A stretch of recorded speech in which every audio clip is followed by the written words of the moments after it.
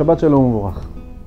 תמיד אנחנו צריכים לנסות למצוא בכל דיבור, אפילו קל שבקלים, של האבות הקדושים, איזשהו לקח שאנחנו יכולים לקחת לחיים שלנו. בפרשת השבוע אנחנו נקרא את יעקב אבינו מתפלל לפני הפגישה שלו עם עשיו, ואומר, כי במקלי עברתי את הירדן ועתה הייתי לשני מחנות.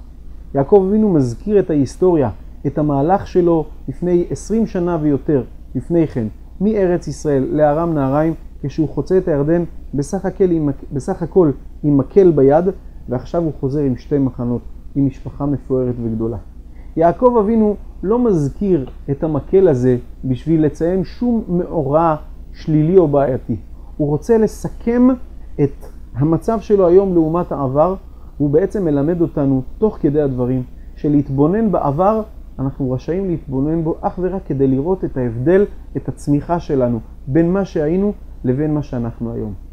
כי להתבונן בעבר ולבכות על מה שהיה, זו לא מהדרך שלנו. הפוך, התורה מזהירה, המלאכים מזהירים את לוט כשהם מצילים אותו מסדום ועמורה, אל תאבד אחורנית. אף פעם אל תסתכל אחורה ותתחיל לבכות מה היה, מה קרה, למה קרה.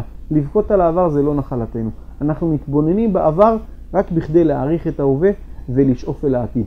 לכן יעקב אבינו מתבונן ואומר, ריבונו של עולם, במקלי עברתי את הירדן. כשהגעתי לפה הייתי לבדי, רק מקל היה איתי, ועתה הייתי לשני מחנות.